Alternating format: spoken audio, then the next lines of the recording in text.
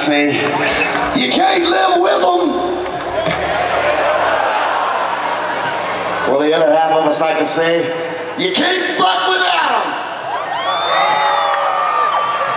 But here's what Saving Abel's got to say. I'm so to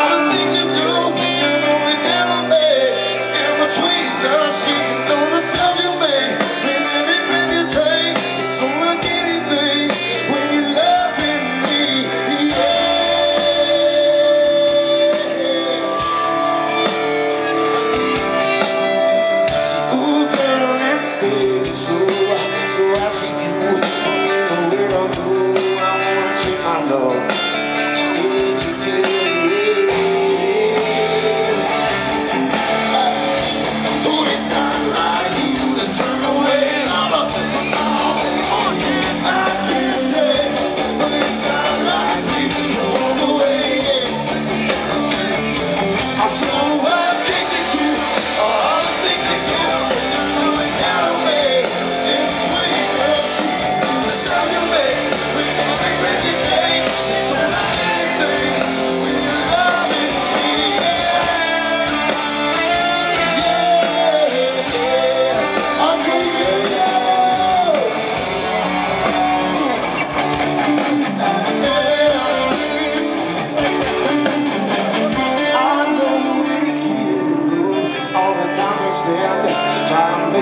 to